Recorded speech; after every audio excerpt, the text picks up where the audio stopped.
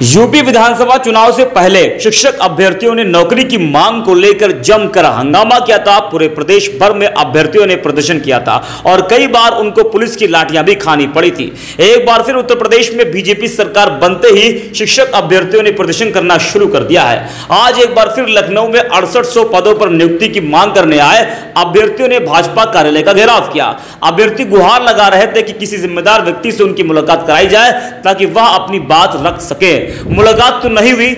मौके पर मौजूद महिला पुलिसकर्मियों ने उनके साथ बर्बरता की, मासूम बच्चे के साथ धक्का मुक्की और उनकी माँ के पेट पर लात मार दी। यह नज़ारा था बीजेपी कार्यालय का, जहाँ पर रोज़गार मांगने आए महिलाओं के साथ पुलिसकर्मियों ने ऐसा व्यवहार किया। तस्वीरें भी आपको हम दिखा रहे हैं।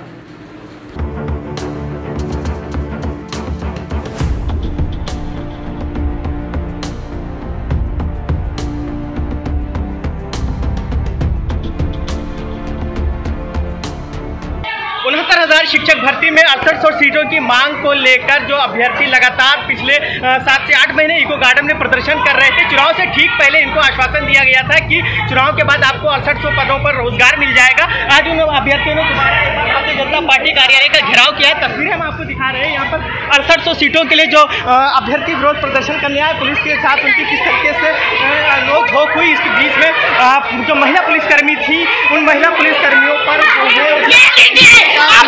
जो है मारने का आरोप लगाया गया कई तरीके के यहाँ पर जो अभ्यर्थी थे उन्होंने महिला पुलिसकर्मियों पर बर्बरता पूर्वक पीटने का और उनके साथ अभद्रता करने का गाली गलौज करने का आरोप लगाया। तस्वीरें में आप देख सकते हैं कि किस तरीके से यहाँ पे महिला पुलिसकर्मियों के साथ अड़सठ सौ पदों की जो मांग करने अभ्यर्थी आई थी उनकी नोक झोंक रही है। तस्वीर हम आपको दिखा रहे हैं कि किस तरीके से महिला पुलिसकर्मी का बूथ है और उसके अभ्यर्थी है, वो है, कुछ अभ्यर्थियाँ ऐसी भी हैं, जो बच्चों को लेकर आई हैं और इस भीषण गर्मी में अपने बच्चों के साथ विरोध प्रदर्शन कर रही है। तो भारतीय जनता पार्टी कार्यालय पर जो अड़सठ सौ पदों पर मांग कर रहे थे, रोज़गार की नियुक्ति पत्र की मांग कर रहे थे अभ्यर्थी, उनके साथ पुलिस की किस तरीके से बर्बरता हो रही है, वो तस्वीरें हम आपको दिखा रहे हैं। बीजेपी कार्यालय आई थी, क्या हुआ?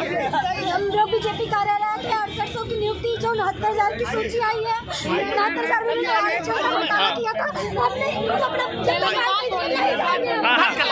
मैडम मैडम एक मिनट मैडम।